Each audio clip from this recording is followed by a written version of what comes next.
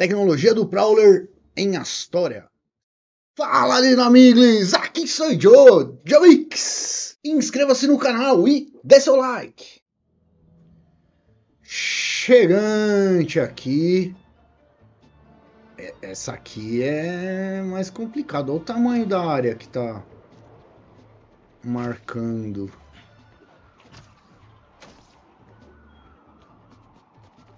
Vai até a metade do prédio? Vamos ver. Que diminui, hein? Aí aqui para baixo. Opa, falou bloqueado. Então já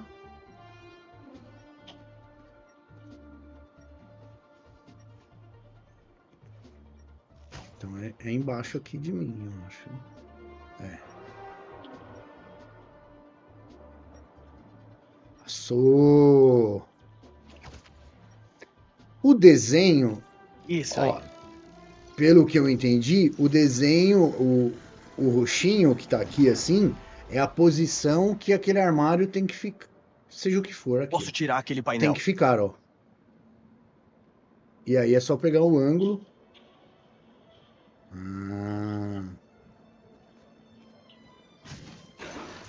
Vai ser um L1 Quadro quadrado? elétrico? Vou usar meu choque. Acho que não.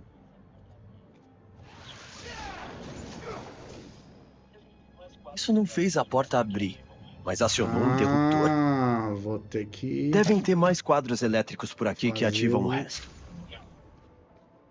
No painel?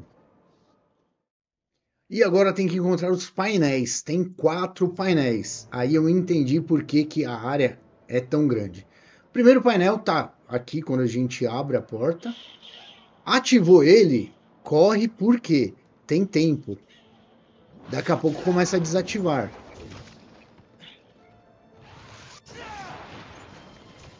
E agora lá em cima